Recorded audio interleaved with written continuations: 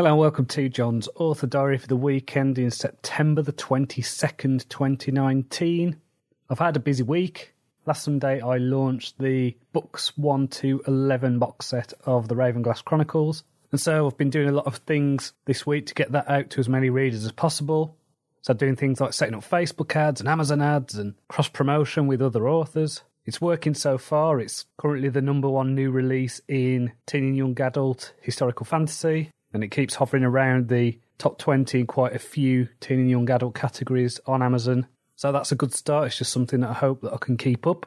So as well as that, I've also been writing at The Fool, so I have finished that now. I've now sent it to a couple of beta readers just to get some notes on the story. And then I've also been doing the feedback for my book, The Stoic Writer. So there's actually a week coming up which is called Live Like a Stoic Week. And this is from the 7th of October.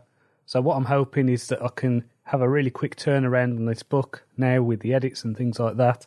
Get it proofread and hopefully get it out there on a week where a lot of people are talking about Stoicism and things like that. So, perfect timing. Hopefully, I'll be able to just get everything sorted and finished I've also been outlining a new story for an anthology that I've been invited to. So this is basically retellings of Dr. Jekyll and Mr. Hyde. I was trying to think about which of my worlds to set it in so I could have it as a bit of a spin off story to something else that already exists. So I think what I'm going to do is write another Lord Sidebottom story. So this is basically comedic steampunk.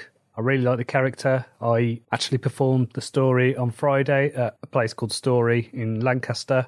So this was their spotlight event.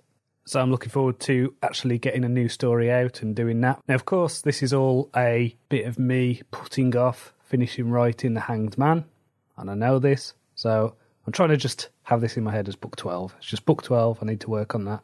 I'm about a quarter of the way through my outline.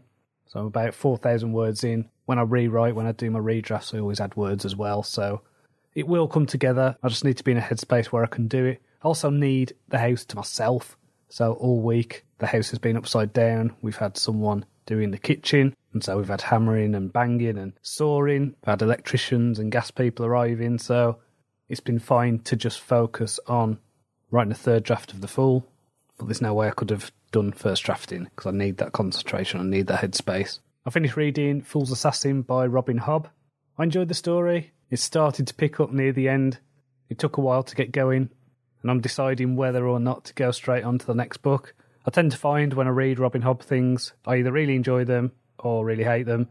And usually, if I enjoy them, then I just go straight on to the next book. So I've just finished, so I don't know yet what I'm going to do because this wasn't the best, it wasn't the worst, but I still enjoyed it. So finally, I just want to mention that I'm nearly done posting the rewritten version of Wizard of the Wasteland on Patreon, so you can check that out now for just a dollar a month. So, what's that? That's half a cup of coffee, if that. And you get access to articles, short stories. You get this a day early. So please do check that out. It's patreon.com slash Jon Cronshaw author.